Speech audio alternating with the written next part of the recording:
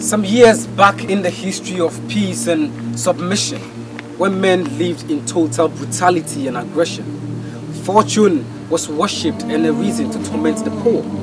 Men never slept on high density mattresses, rather on the peanut floor. The rocks on the mountains were shades and shelters to mankind. The innocence of the girl child was lost and justice was blind.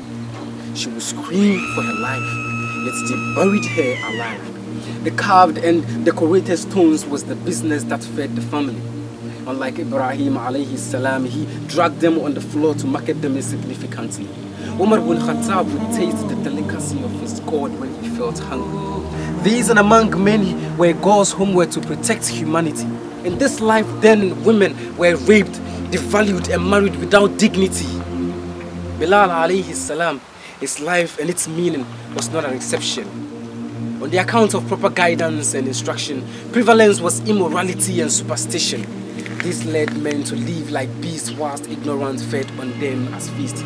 But for the intervention of the mediator, the greatest griot of all times and Islamic advocator, he spent years in silence in cave of Hira, a stone thrown from home to better understand a more moral life for a throne. All hail this man who walked on thorns, but for the love of his ummah, he was stoned all hail this man of essence Mustafa ibn Abdullah Imam al-Mursaleen Akhir al-Anbiya Habibullah Muhammad Rasulullah Sallallahu alayhi wasallam For his essence the age of ignorance has transformed into the age of submission an age that you and I must uphold with faithful attention in this life then millions have accepted and acclaimed that position and in the hereafter we shall make the mediator proud with admiration. وصلى الله على نبينا محمد وآله محمد